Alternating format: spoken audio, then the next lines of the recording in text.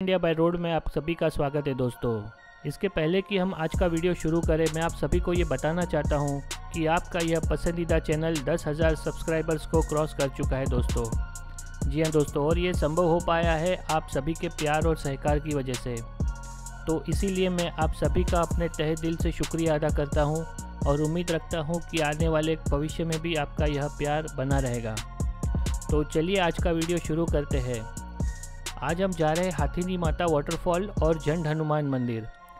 हाथीनी माता की वडोदरा से दूरी करीबन 78 किलोमीटर है, जिसको पूरा करने में करीबन दो घंटे लगते हैं, और पावागढ़ से इसकी दूरी करीबन 35 किलोमीटर है, जिसको आप एक घंटे में पूरा कर सकते हैं। यहाँ पर पहुँचने के बाद आपको दो जगह यहाँ पे आप देख सकते हो। एक रास्ता नीचे की तरफ़ जा रहा है, जो हाथीनी माता का जो गुफा है, वहाँ पे और जाता है। और एक रास्ता ऊपर पहाड़ी के ऊपर जाता है। तो हमने सबसे पहले पहाड़ी पे जाने का फ़ैसला किया। यहाँ से करीबन एक किलोमीटर की एक साधारण चढ़ाई है। आ, वैसे तो कोई भी चढ़ जाएगा क्योंकि रास्ता जो है वो ठीक ठाक बना हुआ है। तो आपको ऊपर जाने में कोई ज़्यादा परेशानी नहीं होगी।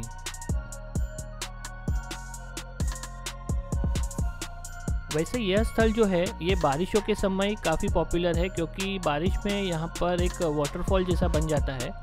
अगर आप इंटरनेट पे भी देखेंगे तो आपको यहाँ पे हाथीनी माता वाटरफॉल के नाम से ही यह जगह दिखाई देगी। और अगर आपको यहाँ पर आना भी है तो अगर आप गूगल मैप पे हाथीनी माता वाटरफॉल डालेंगे तो आप यहाँ पे आसानी से पहुँच जाएँगे। और जैसे कि आप देख सकते हो कि बीच में कहीं कहीं पे जो रास्ता थोड़ा सा ख़राब है तो आपको वहाँ पर थोड़ा संभल के चलना होगा। अगर आपके साथ में बुज़ुर्ग या बच्चे हैं तो आपको उनका थोड़ा सा ख्याल रखना पड़ेगा। बाकी अभी हम जो आए हुए हैं, ये दिसंबर का समय है तो अभी बारिश अभी थोड़े टाइम पहले ही यहाँ पे गई है, लेकिन फिर भी ज़्यादा पानी ही नहीं है यहाँ पे मतलब कोई जो हमने यहाँ के जो चित्र देखे थे या वीडियो देखे थे वैसा यहाँ पे अभी कुछ भी नहीं है, सब कुछ सूखा है, लेकिन फिर भी थोड़ी सी हरियाली है। दूसरी आपको यहाँ पे एक बात यह ध्यान रखनी है कि अगर आप यहाँ पे आते हो तो आपको अपना खाने पीने का सामान अपने साथ में रखना है क्योंकि यहाँ पर आसपास कोई ज़्यादा ऐसी खाने पीने की दुकान या होटल नहीं है। अभी ये जो हम ऊपर की तरफ़ जा रहे हैं तो यहाँ पे एक ऊपर थोड़ा सा मैदान जैसा बना हुआ है। तो अभी हम वहाँ पे जाके देखते हैं कि चलो क्या है। और ये सामने की तरफ़ कुछ झंडे लगे हुए हैं, शायद वहाँ पे कोई मंदिर है जैसा कुछ है। तो चलिए देख के पता करते कि क्या है वहाँ पर। यहाँ पर आपको थोड़ा सा सावधानी से चलना पड़ेगा क्योंकि यहाँ पर कोई रास्ता नहीं बना हुआ है। आपको इन्हीं पथरीले रास्ते से ही होकर आगे बढ़ना है। और जैसे ही हम एक प्लेटफॉर्म पे पहुँचे तो यहाँ पर एक छोटा सा मूर्ति है। आ, नहीं अंदर एक यहाँ पे कुछ गुफा जैसा भी बना हुआ है। तो चलिए देखते गुफा में क्या है। अच्छा ये गुफा के अंदर भी एक ऐसी छोटी सी कुछ मूर्ति स्थापित है। शायद ये कोई स्वयंभू मूर्ति है। आ, पूछने पे हमें पता चला कि ये हनुमान जी की मूर्ति है। ये हनुमान जी का जैसे ऊपर छोटा सा मूर्ति रखा है और अंदर गुफा के अंदर ये हनुमान जी का एक स्वरूप है। अभी इसका इतिहास क्या है वो तो हमें पता नहीं है क्योंकि यहाँ पर कोई ऐसा जानकारी देने वाला है नहीं। बाकी अगर आप बारिश में आते हो तो यहाँ पे आप काफ़ी इन्जॉय कर सकते हो। तो अगर आपका प्लानिंग है यहाँ पे आने का तो बारिश के समय आएँगे तो अच्छा होगा। और अभी एक रास्ता यहाँ से नीचे की तरफ़ जाता है तो अभी हम वहाँ पे जाएँगे आ, क्योंकि वहाँ पर कुछ और गुफाएँ हैं। जैसे आप देख सकते हो कि इसमें उतरना थोड़ा मुश्किल है, लेकिन फिर भी मेरा बेटा तो उतर गया है, क्योंकि उसे तो हर जगह पे मज़ा आता है। उसने भी हनुमान जी के दर्शन किए और अभी हम बाहर की ओर आएँगे और नीचे जाएँगे।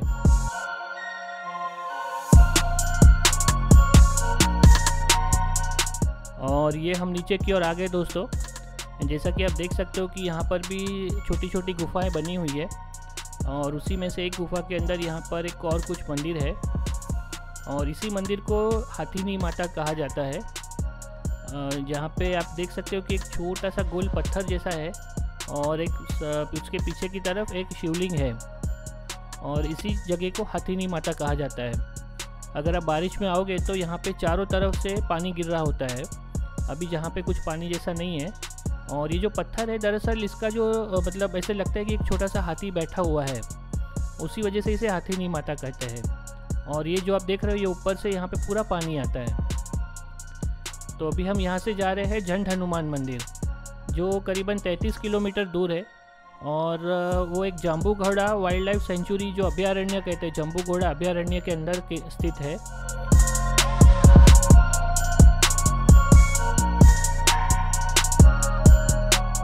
यहाँ पर एक ऐसे छोटे से सब गाँव जैसा एक बसा हुआ है, एक स्टॉल्स लगे हुए तो यहाँ पे आपको खाने पीने के सामान सब मिल जाएगा। और उसके अलावा आप मंदिर में चढ़ाने के लिए तेल भी अगर आपको लेना है, क्योंकि यहाँ पे हनुमान जी का मंदिर है तो वहाँ पे एक तेल चढ़ाने की प्रथा होती है तो यहाँ पर आपको तेल भी मिल जाएगा।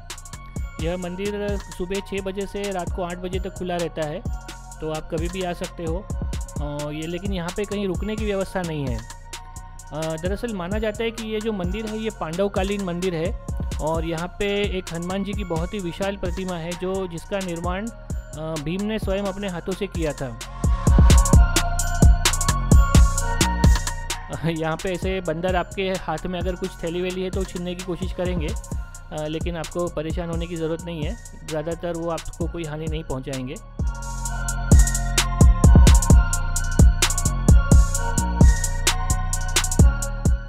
ऊपर चढ़ते समय आपको ये जो पुराने समय की कुछ मतलब आर्टिफैक्ट्स यहाँ पे रखे हुए दिखेंगे, जो बताता है कि मतलब ये जो जगह ये काफ़ी पुरानी है और मतलब एक पुरातन समय का यह एक स्थान है।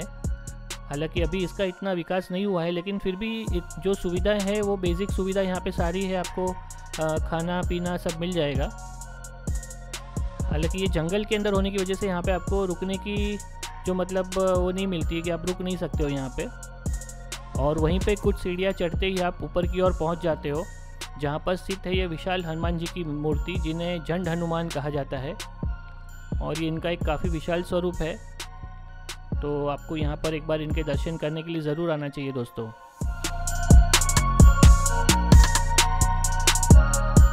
और जैसे ही दर्शन करके हम नीचे की ओर आए, हमने देखा कि एक रास्ता कुछ पीछे की तरफ़ भी जा रहा है। तो वहाँ पर कुछ पूछताछ करके हमें पता चला कि वहाँ पे पीछे की तरफ़ भी दो तीन जगह है जो आप देख सकते हो। जिनमें से सबसे पहले तो ये एक छोटा सा मंदिर आता है। यह एक शिवजी का पुराना मंदिर है। जब, हालाँकि इसकी जो मतलब अभी जो कंडीशन है, ये कुछ खास अच्छी नहीं है। लेकिन देखने से पता चलता है कि उस वक्त ये काफ़ी भव्य रहा होगा। और उसके बाद जैसे ही आप आगे बढ़ेंगे तो आपको दो रास्ते मिलेंगे। एक रास्ता ऊपर की तरफ़ जाता है जहाँ पर एक भीम की घंटी करके एक जगह है, जहाँ पर घंटी मतलब बजाने वाली घंटी नहीं है। जो हम आटा पीसते हैं, उसको भी घंटी कहते हैं। और एक राइट साइड में रास्ता जाता है, जहाँ पर एक कुआ है, जिसे अर्जुन का कुआ कहते हैं। क्योंकि जैसे मैंने आपको बताया कि पांडव जब भी अज्ञातवास में थे तो यहीं पे रहे थे। और जैसे आप आगे बढ़ेंगे, यहाँ पर आपको कुछ ऐसी होटल्स दिखेंगी ढाबा टैसी जहाँ पे चूल्हे पे बना हुआ आपको खाना मिलेगा जो यहाँ का ट्रेडिशनल फ़ूड है। गुजरात का जिसे रोटला वोटला जो है कहते बैंगन का भरता होता है। तो अगर आप खाने खाने के समय पे आते हो तो आपको यहाँ पे खाने की कोई तकलीफ़ नहीं होगी। उसके अलावा रास्ते में इस तरह से ये कुछ छोटे छोटे मंदिर बने हुए हैं। शायद ये कोई काल भैरव का मंदिर है। और ऐसे ही रास्तों से आपको धीरे धीरे आगे बढ़ना है। करीबन आधा पौना किलोमीटर या एक किलोमीटर जितना रास्ता होगा। थोड़ा सा ऊपर नीचे होते हुए आप आखिर में एक छोटे से प्लेस पे पहुंचोगे जहाँ पर एक बोर्ड लगा हुआ है भीमनी घंटी। यानी कि भीम की घंटी जो आ, मतलब दर्शाती है कि यहाँ पर भीम आटा पीसते थे। हालाँकि पुराने समय में माना जाता था कि इस घंटी को कोई हिला नहीं सकता है। तो हम भी यही सोच के आए थे कि मतलब बहुत लोगों ने इसे कोशिश किया था कि इसे हिला पाए लेकिन कहते थे कि भीम के अलावा इसे और कोई नहीं हिला पाता था। मगर अभी तो इसको पूरा इस तरह से लोखंड के केज के अंदर बंद कर दिया है। अन्यथा क्या लोग घुमाने के चक्कर में इसको काफ़ी नुकसान पहुँचाने लगे थे। तो एक सुरक्षा की दृष्टि से इसको अभी इस तरह से लोखंड के केज में रखा गया है, ताकि इसको कोई नुकसान ना पहुँचाए।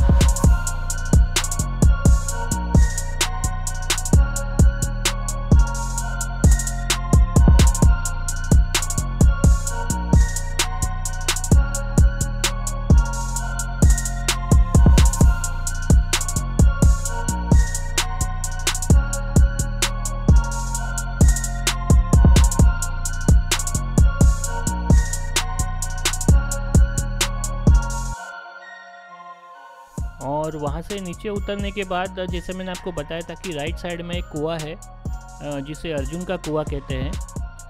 दरअसल, इसके, इसमें माना जाता है कि जब भी द्रौपदी को एक बार प्यास लगी थी तो अर्जुन ने यहाँ पर बाण चलाया था और उसी में से ये कुआ जो मतलब वहाँ पे पानी की धारा निकली थी और उसी से इस कुएँ का निर्माण हुआ है। मतलब इस तरह से यहाँ पे साइन बोर्ड लगा हुआ है जहाँ पर इसका उल्लेख किया गया है। तो उससे हमें पता चला कि ये जो है, ये अर्जुन के द्वारा निर्माण किया गया कुआ है। अभी भी आसपास के परिसर में इसी कुएँ का पानी पीने के लिए इस्तेमाल किया जाता है। जैसे कि आप देख सकते हो कि पानी एकदम शुद्ध दिख रहा है, एकदम साफ़ पानी है। और उसी के साथ हम हमारा आज का सफ़र यहाँ पे ख़त्म करते हैं। और अगले वीडियो में हम जा रहे हैं पोइचा नीलकंठ धाम में। जो कि एक स्वामीनारायण का काफ़ी सुप्रसिद्ध मंदिर है। और वहाँ पे हम आपको जो दर्शन करवाएँगे और उसका जो परिसर है, उसकी जानकारी देंगे। तो हमारे साथ बने रहिएगा दोस्तों डिस्कवर इंडिया बाय रोड पर। धन्यवाद।